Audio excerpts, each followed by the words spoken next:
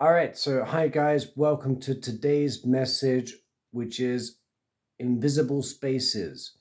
So um, I don't know if you know, welcome to my channel. If you go to the playlist, uh, Disciple Shayne with a Y and an N and an E for eternity, Disciple Shayne playlist, and check out the thumbnails and you'll see like blah, blah, blah, blah. Uh, there's like a big story being told, which is hopefully to bless a lot of people.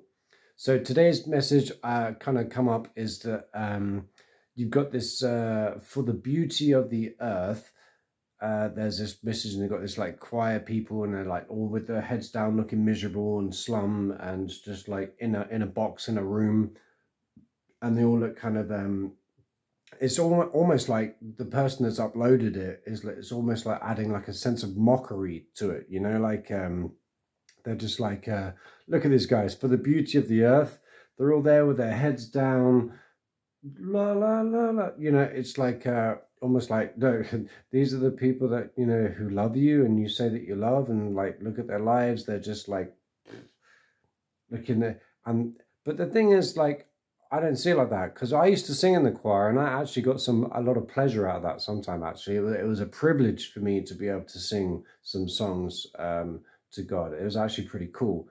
But yeah, so but when I looked at that video, I'll pop it on the on the uh, to do uh, on the playlist.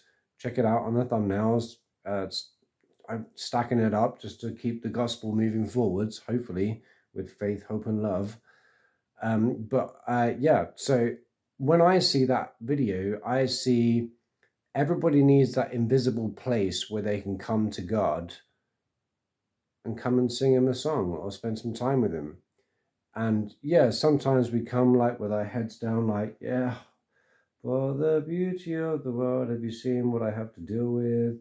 Mm-hmm. And that, you know, it's kind of like a, but when we worship in spirit and in truth, it's kind of like, come on, guys, pick it up. Like, um, I think you can come to God in whatever emotional condition that you're in uh, but I don't think it should be made fun of. Um, I think that you can come because as human beings or whatever beings you are, everybody can come to you at a different stage, at a different point, in a different position or a different place.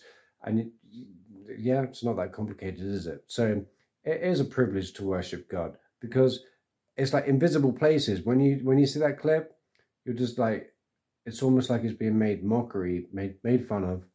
Like, oh, this is the goodness of God milk and honey, like all dressed in robes, trying to be thou art holier than thou, and you know, heads down and well, but most of them, you know, so a lot of them probably, you know, struggling maybe with watching certain sites or maybe struggling with some addictions or going through some troubles.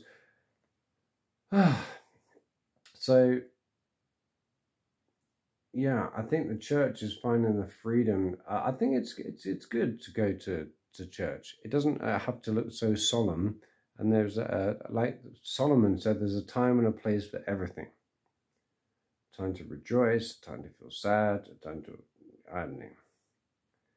But I don't think the church should ever be perceived or portrayed as something that's like a, a miserable um, thing to partake of. Because I used to, um, growing up with a lot of difficulties and struggles through my life, it was a privilege that I got even the ability to be able to sing. I used to sing in the choir.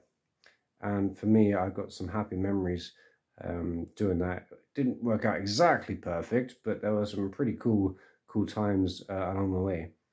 Um, so, yeah, keep on uh, loving God, loving people.